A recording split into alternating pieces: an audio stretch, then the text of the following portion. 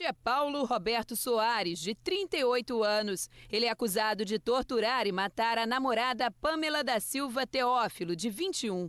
A jovem que foi morta com um tiro no peito foi encontrada na casa de Paulo, com marcas de espancamento e queimaduras de cigarro pelo corpo todo. Segundo familiares, a jovem conheceu o suspeito há cinco meses, mas a relação era complicada porque Paulo era muito ciumento. Aí ela estava com o braço, inclusive, machucado, sangrando. Eu perguntei ela o que, que houve. Ela falou que ele tinha batido nela, que ela não queria mais ficar com ele. Paulo é ex-detento. Foi preso e condenado a 12 anos de prisão pelo crime de extorsão mediante a sequestro, mas desde dezembro estava no sistema semiaberto e usava uma tornozeleira.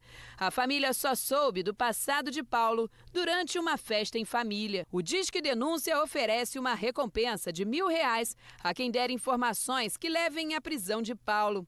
Segundo o delegado que investiga o caso, logo após o crime, Paulo destruiu a tornozeleira. Ele é um indivíduo violento, há uma passagem no inquérito policial de que que um familiar dela chegou a presenciar ele com duas armas de fogo, portando duas armas de fogo. Vamos continuar envidando esforços para tentar localizá-lo e prender, porque perfis como o do Paulo, é, nós sabemos que o risco de cometer um outro crime com outra mulher é muito grande.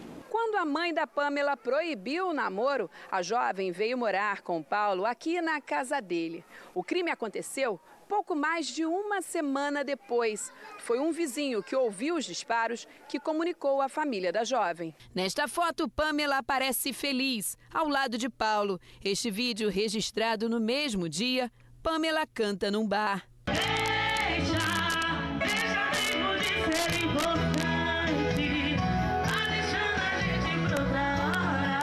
Atena Pamela morava bem aqui nesta casa com a mãe e com os irmãos antes de ir morar com Paulo. Hoje a família já não está mais por aqui.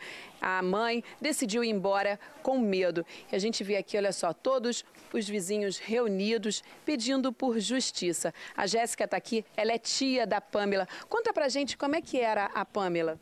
A Pamela era adorável, alegre, cantora, cantava muito bem, muito divertida, todos amavam muito a Pamela, personalidade forte, de palavra, era tudo, a nossa Pampã, né, que a gente chamava ela desde quando ela nasceu.